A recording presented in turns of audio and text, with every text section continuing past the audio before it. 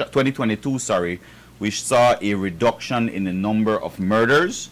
Um, again, we would want to solve all crime. We would want to prevent all crime. But as long as it is that we are moving in the right direction and the numbers are trending downwards, I think that's uh, that's a, a good thing to be proud of.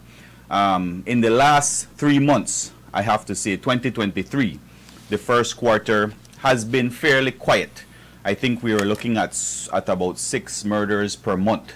But in the last week or so, there six. has been an extreme flare up.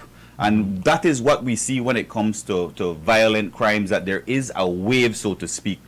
Um, and I think from a police standpoint, while it is we cannot prevent all murders, it is important that the police solve all murders, that we are responding adequately.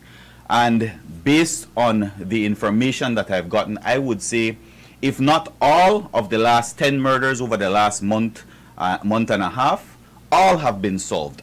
All have uh, instances where people have been apprehended and charged. If not all, almost all.